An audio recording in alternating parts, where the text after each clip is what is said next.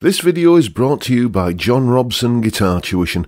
If you enjoy the content, please consider supporting the channel by enrolling on a course, purchasing some guitar lessons or a t-shirt, or you can join my Patreon. Now, on with the show.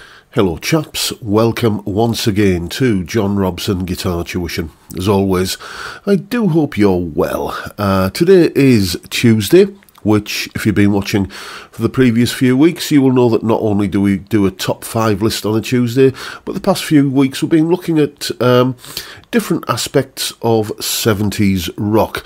Um, specifically 70s rock, because, as I've said in a few of these videos, I honestly think that the 70s was uh, probably the most fertile and diverse era of rock music for you know various reasons, and we can debate those till the cows come home. But I just maybe maybe it's just the nostalgia thing for me, but I honestly think that is the case.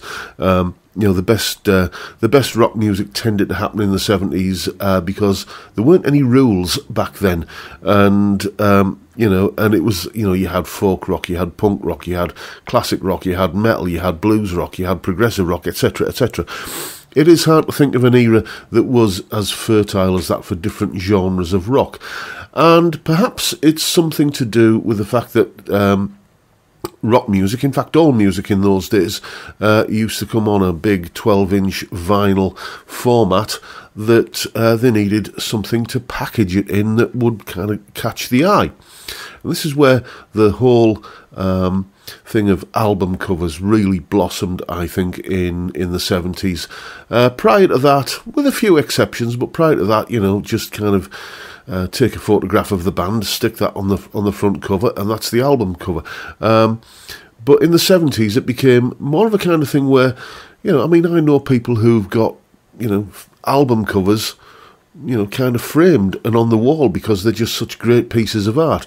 And in a couple of cases, I've said to people, "Yeah, well, do you like that album? Don't know. Never listened to it. I just like the picture." So you know, it's it's something that, that it is an art form in itself. The uh, the, the the album cover. In the seventies, uh, especially in the rock genre, was when it really, really kind of hit its stride. I think. So today, that's what I'm talking about. My five favourite rock album covers from the seventies, starting with Dark Side of the Moon by Pink Floyd. Yes, I mean, it's iconic, isn't it?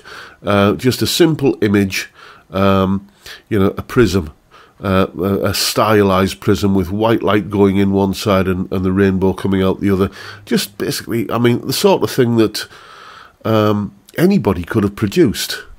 But only one person did, and that was uh, Mr. Storm Thorgerson of uh, the Hipgnosis Design Studio. Apparently, he um, you know, he had like a bunch of different designs uh, that were, you know, kind of candidates that uh, he was going to show the band, uh, you know, for, for the album. And, uh, you know, each and every member of the band walked in and went straight to this particular image and said, that one. It's got to be that one. And so it was. And he, I do remember an interview with him where he said he was a little bit, um, you know, perhaps um, not underwhelmed, but a, little bit thinking, well, have you seen all these others? How much work I put into those? And like, you know, and the, and the pick what was effectively the simplest one. But dear me, what a choice! It's as I said, iconic, and um, you know, got to be one of the most recognisable album covers of all time, I think, and. Um, you know, a great way to uh, present what is, I think, one of the greatest albums of all time. So that's why this one's on the list. Next, Boston by Boston. Yes, now I didn't discover this album in the 70s. It was the early 80s when I was at college living in the halls of residence and, you know, kind of having, uh, being exposed, shall we say, to other people's musical taste. That's when I first heard uh, the Boston uh, debut album and was just immediately won over by it. And I just love this album cover. It's just so. It's just so 70s, isn't it? But in, in it's about everything that's good about sort of uh, 70s um, you know, kind of aesthetics. Really, you've got the uh, the kind of guitar there, which I don't know. To me, it kind of looks like an ovation bowl back, um, you know, a stylized one, uh, but you know, kind of turned upside down, and suddenly it's a space rocket with blue flames shooting out of it, and um, oh, great stuff. You know, it just kind of. Uh, it, for me, it summarised the sort of optimism of the era, you know, where everything was futuristic and, and fantastic. Um, it wasn't in the 70s, certainly in the UK it wasn't. Um, the, the, artwork was uh, done by, let me have a look, yes, someone called Paula Scher, who was the uh, art director at CBS Records and um, you know she obviously came up with uh, this design for this this new band, um, which was really only kind of two guys, wasn't it? Tom Scholz and um, what was he called? Uh, Brad Delp, you know. But uh, this was, uh, you know, the design that they came up with, and again, it's just iconic. You know, it's got the band logo in there, um, you know, and the, the, whole kind of spaceship come guitar theme, I just think works really, really well.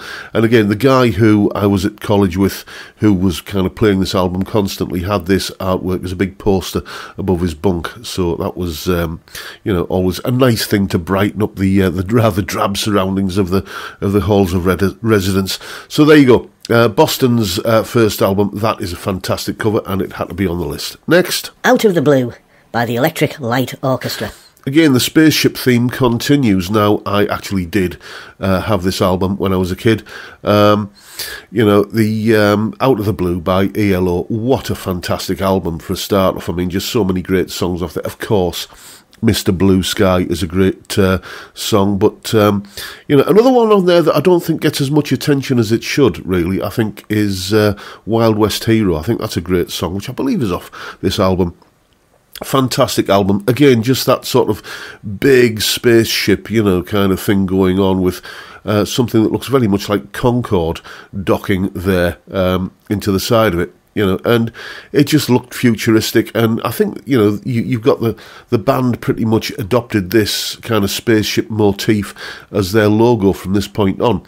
It's just a fantastic looking thing, and um, you know, it's maybe because it brings back happy memories of of that um, those long hot uh, summers that never ended when I was a kid, and you know, f- and fantastic Christmases and what have you. But I just um, I, I, love this artwork, and again, it would look good framed and on any wall. I think so. That's why that one made the list. Next, Bat Out of Hell by Meatloaf. It had to be there, didn't it? Uh, Bat Out of Hell. Um, I'm not the world's biggest Meatloaf fan. I've got to be honest with you. Um, I bought this album uh, in about 79, I think it was, so a couple of years after it came out, um, mainly because of the album cover. Uh, I think I'd heard two out of three ain't bad, you know, the kind of the obligatory sappy ballad on the album. Um, which I thought was it's okay, but it's you know it's nothing fantastic.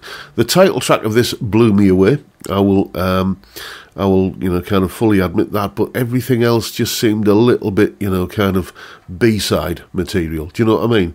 Um, you know, Paradise by the Dashboard Light is probably an exception, but you know, um, two out of three ain't bad. Heaven can wait.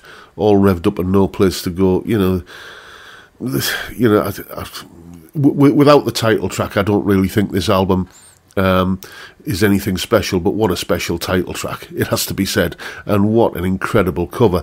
Uh, designed by uh, Richard Corben and Jim Steinman. I think Steinman apparently came up with the uh, the concept of you know the kind of the motorcyclist uh, kind of riding out of the grave and the bat in the background, and the uh, the artwork was actually done by Richard Corben, uh, who sadly uh, passed away not so long ago. But uh, what a legacy! Fantastic album for the most part. Well, fan- fantastic title track, but an absolutely epic album cover had to be on the list. Next, Led Zeppelin 4 by Led Zeppelin. Yeah, had to include this one, didn't I? Um, out of all the album covers I've discussed uh, in this video, this is the only one that I would probably call album art because, you know, it's. The others have artwork, but this is art. I suppose there's a subtle difference there because even a thick-headed northern numpty like me can tell there's an, there's an artistic point being made here um, you know, possibly about the juxtaposition of old and new. When you first see the front cover of this album, you see a painting hanging on a wall. Okay, you think? Fair enough. And then you open it up and you see the kind of uh, the, the, full um, the full picture, as it were, and uh, you see it's a partially demolished wall, and you know in the background there's an evolving, more modern, uh, well modern for you know the early seventies cityscape with a tower block and and so on. Um, you know, so it's about possibly, as I say, the juxtaposition of old and new, and it's that it's that surprise factor when you open it up and you think, oh, I wasn't expecting that. Um, for such an iconic album cover or album art, there's very little information that I was able to find about who, who was involved in the design of this. Uh, I did a little bit of digging, and unlike you know the Dark Side of the Moon, Storm Thorgerson, and uh, the Hipgnosis Studio, and uh, forgot to mention actually the um, Out of the Blue album cover designed by John Kosh, and um, I might get this incredibly wrong, but I think it's Sushi Nagaoka. Um, they were the design team behind the the, uh, the ELO album. Couldn't find any information at all about uh, who was responsible for the design of this. Uh, all I could find was that the painting you see hanging on the wall there was apparently purchased from a junk shop or second-hand shop, antique shop, wherever, by Robert Plant. So, you know, what, was it purchased for the purposes of making this uh, this photo shoot? I don't know. Um, possibly it was it was the band's idea. I don't I don't know. If you have any information, leave it down below. But it is just a strikingly powerful image, I think. And if you're talking about you know, iconic 70s album artwork and album covers, then how could you not include uh, the cover of Led Zeppelin 4? So, there you go. Those are my five favourite um, album covers of the night, rock album covers of the 1970s. Uh, let me know what your thoughts are on these. If you have any other information on my choices, if you disagree with any of the choices, if you have any choices of your own, then just uh, get, you know kind of uh, put it all in the comments section below, and we can uh, we can educate each other, so to speak. Uh, but that is pretty much the video for today, folks. Hope you've enjoyed it and found it relatively entertaining. And if that's the case, please hit the subscribe button and the notification bell if you haven't already done so. Why not drop me a like as well while you're at it? Don't forget the live stream every Friday, 5 p.m. UK time, where we drink beer and talk about music and guitars. What a great way to to kick off the weekend. I'd love to see you there if you can make it. But for now, I'll bid you all a good day and say thank you so much for watching. Thank you for your time. Look after yourselves, folks. Stay well, stay safe, and above all, stay sane. Bye for now.